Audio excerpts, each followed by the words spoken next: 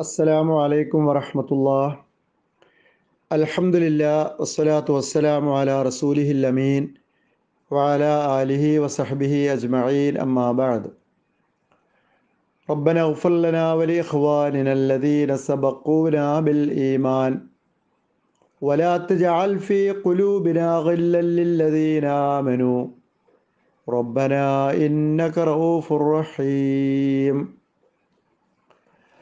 ربنا اغفر لنا ولإخواننا الذين سبقونا بالإيمان. ولا تجعل في قلوبنا غلا للذين آمنوا. ربنا إنك رؤوف رحيم. ربنا اغفر لنا ولإخواننا الذين سبقونا بالإيمان. ولا تجعل في قلوبنا غلا للذين آمنوا ربنا إنك رؤوف رحيم പ്രിയമുള്ള സഹോദരി സഹോദരന്മാരെ സുഹൃത്തുക്കളെ സത്യവിശ്വാസികളെ ഒരു ദിനം ഒരു ദുആ എന്ന ദുആ പഠനത്തിൻ്റെ ഭാഗമായി ഇരുപതാമത്തെ ദിവസം നാം പഠിക്കുന്ന പ്രാർത്ഥന. വിശുദ്ധ ഖുറാനിലെ അൻപത്തി ഒമ്പതാം അധ്യായമായ സൂറത്തുൽ ഹഷറിലെ പത്താമത്തെ ആയത്തിൽ വന്നിട്ടുള്ള ഒരു പ്രാർത്ഥനയാണ്. മക്കയിൽ നിന്ന് മുഹാജിറുകളായി മദീനയിലെത്തിച്ചേർന്ന വിശ്വാസികളെ മദീനയിലുള്ള വിശ്വാസികൾ കൈ മെയ് മറന്ന് സ്വീകരിക്കുകയും അവരെ സ്വന്തം സഹോദരങ്ങളെപ്പോലെയോ അതിനേക്കാൾ വലിയ ആത്മബന്ധമുള്ള നിലക്കോ സ്വീകരിച്ച് സഹായിക്കുകയും ചെയ്ത കാര്യങ്ങൾ പറഞ്ഞതിന് ശേഷം അൻസാറുകളും മുഹാജിറുകളുമൊക്കെ ആയിട്ടുള്ള ആദ്യകാല വിശ്വാസികൾ അവർ പരസ്പരം ഗുണകാംക്ഷയോടുകൂടി തങ്ങൾക്ക് വേണ്ടിയും തങ്ങളുടെ സഹോദരങ്ങൾക്ക് വേണ്ടിയും തങ്ങളുടെ മുൻഗാമികൾക്ക് വേണ്ടിയുമൊക്കെ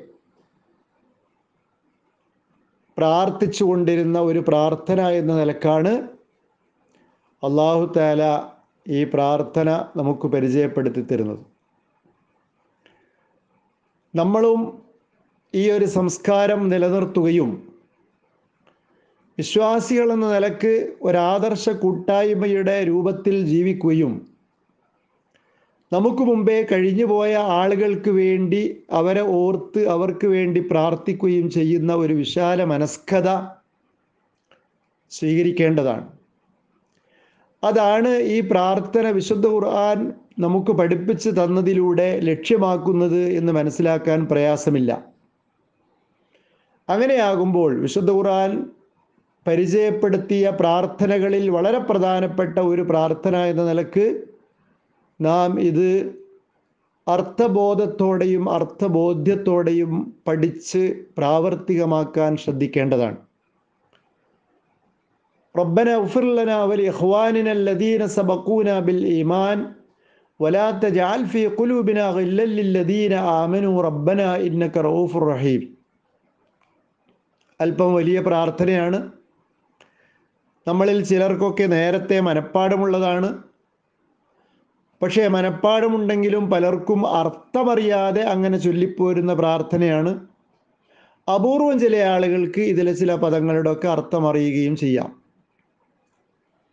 മൂന്ന് ഭാഗങ്ങളാണ് ഇതിലുള്ളത്. റബ്ബന ഉഫുല്ലന വലി ഹ്വാനിനല്ലദീന സബക്കൂന ബിൽ ഈമാൻ. പ്രാർത്ഥനയുടെ ഒരു ഭാഗം. വലാത്ത ജാൽഫി കുലൂബിനാഹ് ഇല്ലല്ലില്ലദീന ആമിനു. പ്രാർത്ഥനയുടെ രണ്ടാമത്തെ ഭാഗം. റബ്ബന ഇന്നക റഊഫ് റഹീം. പ്രാർത്ഥനയുടെ മൂന്നാമത്തെ ഭാഗം. ഇങ്ങനെ വേർതിരിച്ച് മനസ്സിലാക്കി പഠിക്കുമ്പോൾ ആ പ്രാർത്ഥന ഒന്നുകൂടി ഹൃദയസ്പർശിയായി നമുക്ക് അനുഭവപ്പെടുകയും അർത്ഥബോധത്തോടെ തന്നെ അത് പ്രാർത്ഥിക്കുവാൻ നമുക്ക് സാധിക്കുകയും ചെയ്യും. റബ്ബന ഞങ്ങളുടെ ദാദ യഹ്ഫുല്ലന ഞങ്ങൾക്ക് പുറത്തു തരണമേ.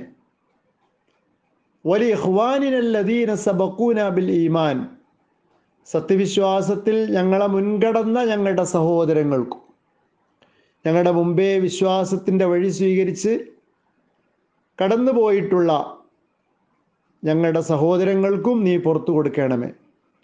വലാത്ത ജാൽഫിയ കുലൂബിന ഇല്ലല്ലില്ലതീന ആമനു.